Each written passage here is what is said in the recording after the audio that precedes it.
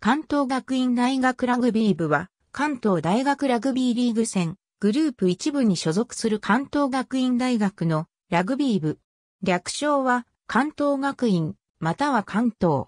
1997年度から2006年度まで10年連続で大学選手権決勝に進出し、そのうち2度の2連覇を含む6回の優勝を達成している。7人制では、ジャパンセブンズ優勝1回、YC&AC ジャパンセブンズ優勝1回を誇る。また、多くの人材を日本代表に輩出している。早稲田大学を破り、観客席のファンに挨拶をする関東学院の選手たち1980年度に全国地区対抗大学ラグビーフットボール大会で初優勝。1982年度にも地区対抗大学大会で優勝し、さらに一部昇格を決めた。1990年度に関東大学ラグビーリーグ戦グループで初優勝。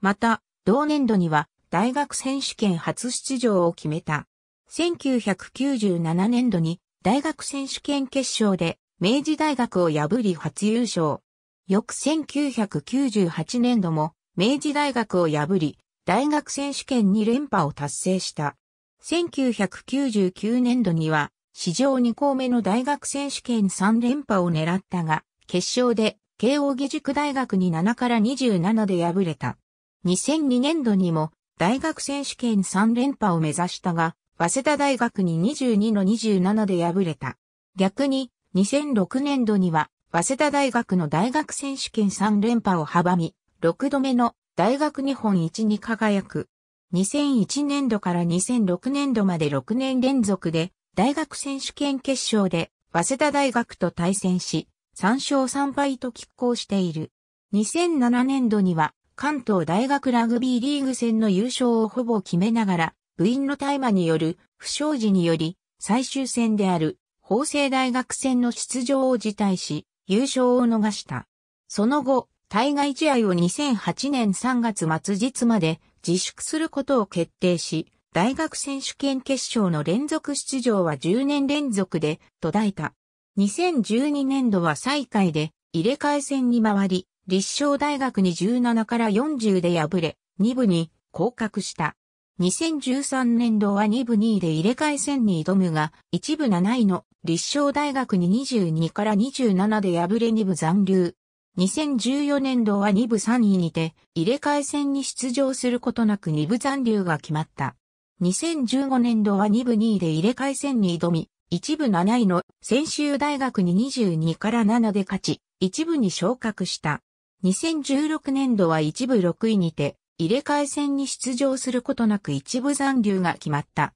2017年度は再開で、入れ替え戦に回り、専修大学に38から43で敗れ、2部に降格した。2019年度は2部2位で入れ替え戦に挑み、一部7位の拓殖大学に31から28で勝ち、一部に昇格した。年はすべて年度。近年のチームの戦績は以下の通り。1トライ数の差により、帝京大学が2回戦、進出2007年11月、大麻取締法違反容疑で部員2名が逮捕、起訴されたため、対外試合を2008年3月末日まで自粛。監督は、対外試合をはじめラグビーの指導を3ヶ月自粛。部長は、学生の管理責任を取り辞任。当該部員2名については11月9日付で退部となった。ラグビー部公式サイトでは、その直後にもレギュラー選手1名を含む2から4年生部員、計12名の大麻吸引が、